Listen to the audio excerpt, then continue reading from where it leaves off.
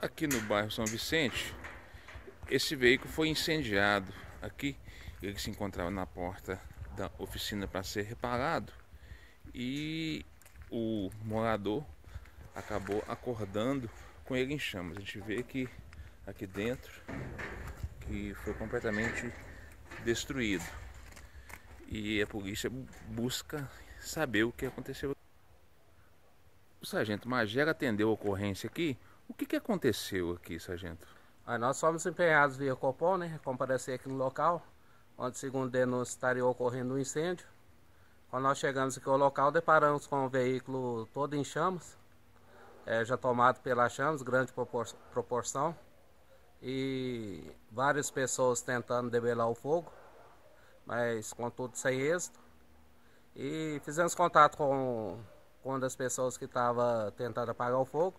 Ele se identificou como proprietário de uma, de uma oficina que fica aqui em frente onde o veículo estava. Nos relatou aí que estava responsável pelo conserto do veículo. Quando ele acordou com alguns barulhos, tipo explosão, e ao sair na rua, ele mora ao lado da oficina, a residência dele. Na hora que ele saiu para verificar o que estava ocorrendo, deparou com o veículo em chamas. O veículo ficou completamente destruído, né? Isso. A gente vê aqui. Teve perda total.